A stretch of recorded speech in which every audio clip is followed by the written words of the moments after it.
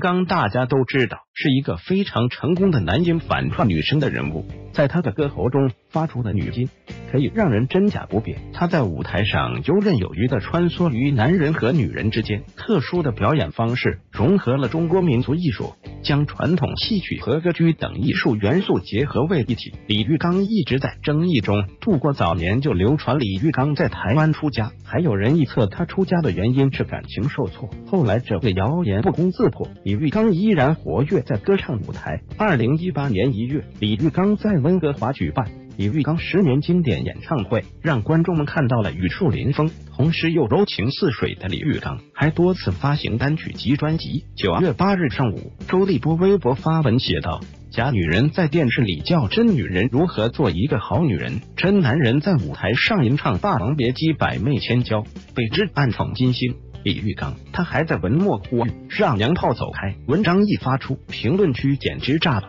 纷纷炮轰周立波。卧槽，周立波要不要脸？李玉刚零九年就是国家歌剧舞剧院一级演员，代表中国出征世界文化舞台的。周立波算老几？能不能先管好你自己？允杯允杯金星和李玉刚还好，让费姐允杯周立波可能是很久没看过外面的世界了吧？自己屁股上君君的精液还没有擦干净，先蹭热度埋汰别人。啧啧啧，李玉刚男的时候很英气，女装的时候也很妩媚，不知有什么可指摘的。陈小天同学，江苏南京，他奶来的资格评论两个艺术家？居然说李玉刚，人家国家一级演员，你算老几？人家是一种艺术形式。